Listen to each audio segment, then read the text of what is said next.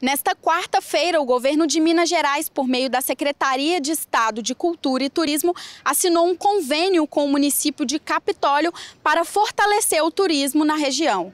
O acordo vai viabilizar a realização de obras nos cânions, com a intenção de fortalecer o turismo local a partir da prevenção de riscos para os visitantes que passeiam no Lago de Furnas. O prefeito de Capitólio, Cristiano Geraldo da Silva, falou sobre a importância do convênio para a retomada do turismo na região após o desabamento de uma rocha em janeiro deste ano.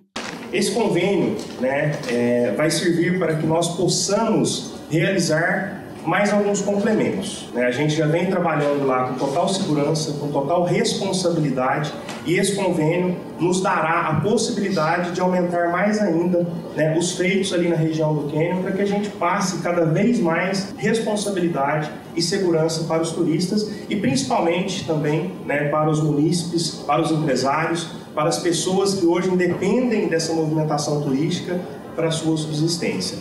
O secretário de Estado de Cultura e Turismo de Minas Gerais, Leônidas Oliveira, destacou que o risco de novo desabamento é descartado pelos geólogos que monitoram a situação e que o projeto representa um reforço à segurança. E hoje todo o cânion é monitorado diariamente, ou seja, é isso que fez com que as decisões da ordenamento do território, ou seja, a abertura gradual dele pudesse acontecer.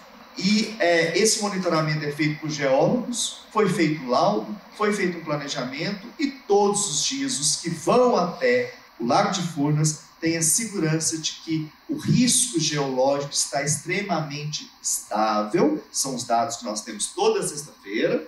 Eu recebo de vez em quando aqui, não todas, mas eu recebo.